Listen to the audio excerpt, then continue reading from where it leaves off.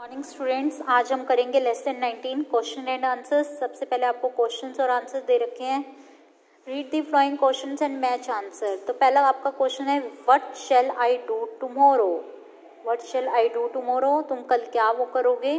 तो क्या you will teachers तुम क्या करोगे? पढ़ाओगे. वट एम आई मैं कौन हूँ? यू आर अ टीचर तुम एक अध्यापक हो। ऐसे ही आपको कुछ क्वेश्चंस दे रखे हैं और आपको क्या बनाने हैं? आंसर्स बनाने हैं। नेक्स्ट है now read this question and answer you can give positive और नेगेटिव रिप्लाईज अब आपको कुछ क्वेश्चन आंसर्स दे रखे हैं, उन्हीं को आपको पॉजिटिव यानी कि किसमें यस या नो में जवाब देना है। पॉजिटिव में यस और नेगेटिव में नो में रिप्लाई देना है। जैसे फ़र्स्ट क्वेश्चन है आर यू वेल क्या तुम ठीक हो? तो यस आई एम वेल मैं ठीक हूँ. No I am not well मैं ठीक नहीं हूँ. Is he well yes he is well no he is not well ऐसे कुछ आपको और एक्सरसाइज दे रखी है आपकी।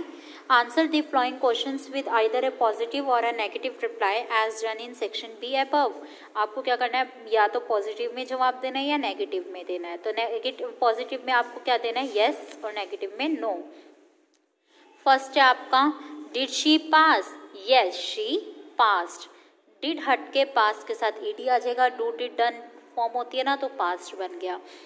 Next I am a doctor am I doctor yes I am a doctor are your eyes blue no अब इसका मैंने नेगेटिव में दे दिया नो no, नहीं। My eyes are not blue you word change होके किसमें आ गया? माई में आ गया।